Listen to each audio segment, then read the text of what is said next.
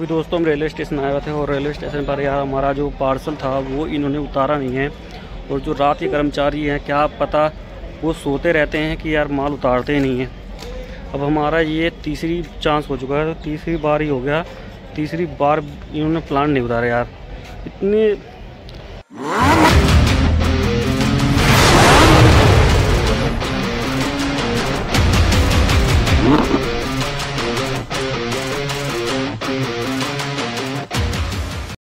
आपका प्यार सदाबार बने हमारी वीडियो में। Welcome to my new blog तो दोस्तों, आज के ब्लॉग में आप सभी फ्रेंड्स का स्वागत है।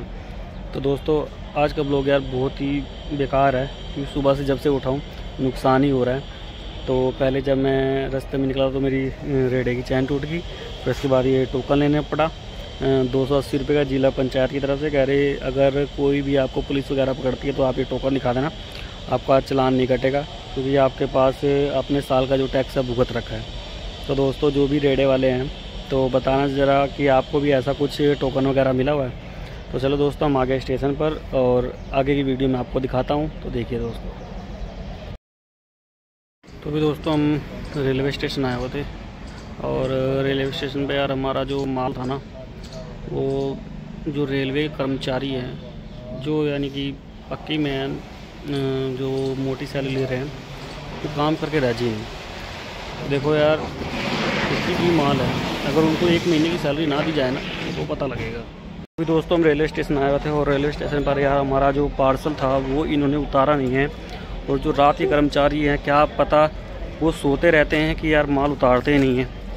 अब हमारा ये तीसरी चांस हो चुका है तो तीसरी बार ही हो गया। तीसरी बार इन्होंने प्लान नहीं उतारा यार। इतने बगैर रिस्पॉन्सिबिलिटी होगी ना इनकी, यानी हद में कोई रिस्पॉन्सिबिलिटी नहीं निभा रहे हैं। और क्या हो रहा है कि देखो यार, किसी का भी माल है, सरकारी कर्मचारी है, उनको भी प्राइवेटाइजेशन कर देना चाहिए।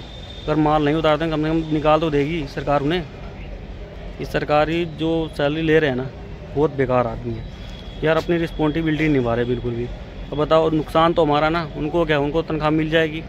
ऐसा करना चाहिए, सरकार को जितने पार्सल का नुकसान करते रहा, इनकी सैलरी में से काट के उनको दे देना चाहिए। तब इनको पता लगेगा कि भी हाँ माल उतारना चाहिए कि नहीं उतारना चाहिए। अब बताओ, किसी का नुकसान हो रहा है, कोई पैसा लगा रहा है, बस इनको उतारने में इतनी दिक्कत हो रही है। और जबकि उतारते भी नहीं हैं, जो डी सी रेट के लोग कर्मचारी हैं, वही उतारते हैं। सिर्फ़ इन्हें तो हाथ में पर्चा लेके गिनती वगैरह करनी रहती है पार्सल की, वही लोग उतारते हैं। और ये लोग इतनी लापरवाही कर रहे हैं ना क्या नहीं हद में। तो दोस्तों मेरी आपसे यही उम्मीद है कि वीडियो आज ज़्यादा से ज़्यादा शेयर करें और इनको सबक मिलना चाहिए। जितने पार्सल का नुकसान हो, उनकी सैलरी से काट लेना चाहिए। तो दोस्तों, आपसे उम्मीद है ज़्यादा से ज़्यादा शेयर करें इस वीडियो दोस्तों, अभी मैं घर आ चुका हूँ और घर मैं लगभग लेट ही आया था, लगभग मुझे बज गए थे दो लगभग बज गए थे आते आते तो दोस्तों वहाँ जाकर आज पूरा दिन मेरा ख़राब हो गया।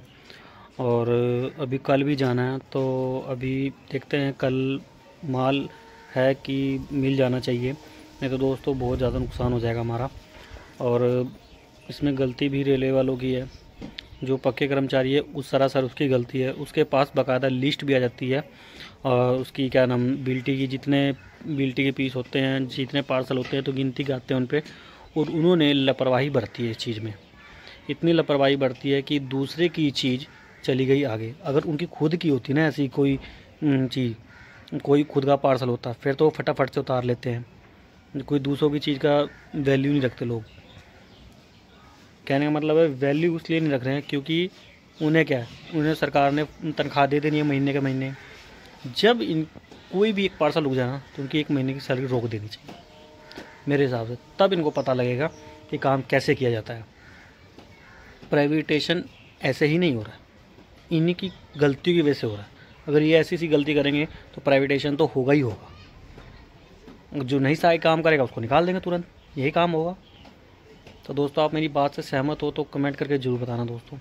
तो अभी फ़िलहाल हम आ गए हैं। तो दोस्तों, इसी वजह से हमने माल भी नहीं लोड किया और काम पे भी नहीं गए आज पूरा दिन मेरा ख़राब हो गया दोस्तों।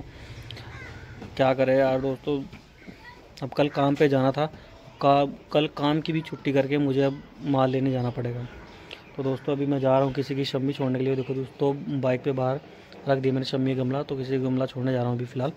तो चलो दोस्तों, चलते हैं। अभी छोड़ के आते हैं और फिर मिलते हैं आपसे आगे। दोस्तों, हम सम्मी का पेड़ छोड़कर आ चुके हैं और मम्मी देखो, ये क्या बोलते हैं, रेता लेके और गली में जो मतलब कि वो आया हुआ है ना, क्या नाम उसके पाइप बिछाने के लिए तो उनसे जा रही है मसाला मांगने के लिए। तो वो इसको अब लगाएगी।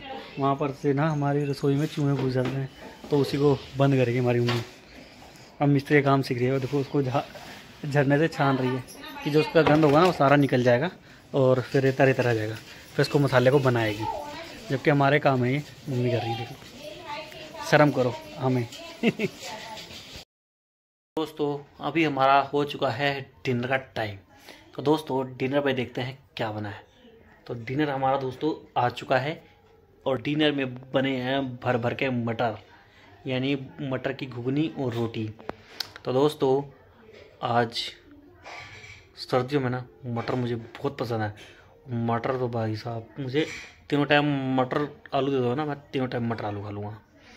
तो देखो दोस्तों, अभी मैं बैक कैमरे दिखाता हूँ, कितना मस्त लग रहा है भाई साहब। अभी तो यहाँ से एकदम साफ़ नहीं दिखा रहा बैक कैमरे जब आपको दिखाऊँ टगी क्या गजब दिखेगा।